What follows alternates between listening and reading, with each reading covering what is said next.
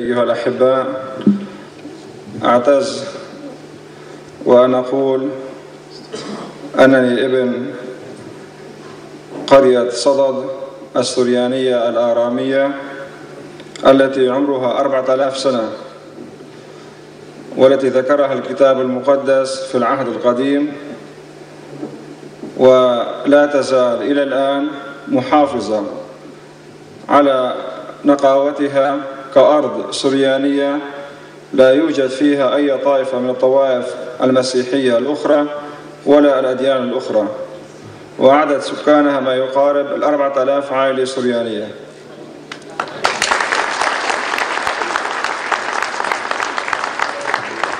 ونحن وأنتم نشترك مع بعضنا البعض بالتراث وبالعقيدة وبالإيمان وبالأرض وبالهوية.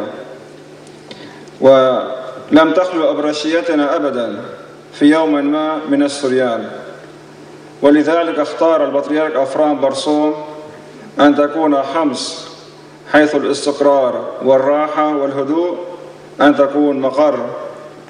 له كبطريرك وسابقا كان فيها كمطران.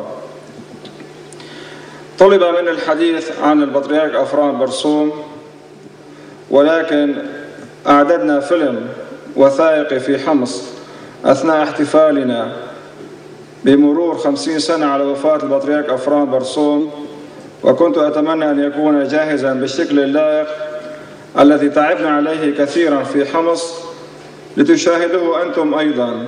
فهو فيلم بالفعل متعوب عليه وجذاب. أكثر من أن نحكي هناك الصور وهناك صورة البطريرك أفرام هو شخصيا يتكلم. في صورة فيلم وثائقي للبطرك أفرام برسوم.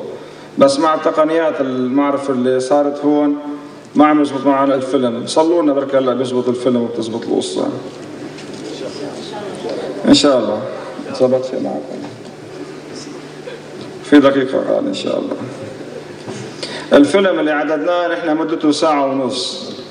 وصرنا بتلفزيون بالقناة سوريا سات واختصرناه ليكون 40 دقيقة.